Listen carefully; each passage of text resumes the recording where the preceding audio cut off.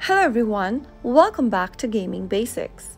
In today's video, I'm going to show you how to change graphics settings for Hunting Sniper. So let's get straight into the video without wasting much of our time. Tap Open Hunting Sniper application from your mobile device. Wait until the application loads. Once it starts, you'll end up in this main homepage. From the main homepage, tap on the settings or the gear button at the top right hand corner. This will then open up the options tab. Click on game from the top of the screen and then right next to quality, select between original, high, medium or low quality according to your preference. You can change between any of those graphic settings, graphic quality and then after you make your choice, you can get back to the game and start playing. So that was how you can easily change the graphic settings for your Hunting Sniper account. If you found the video to be helpful, go ahead and give us a thumbs up.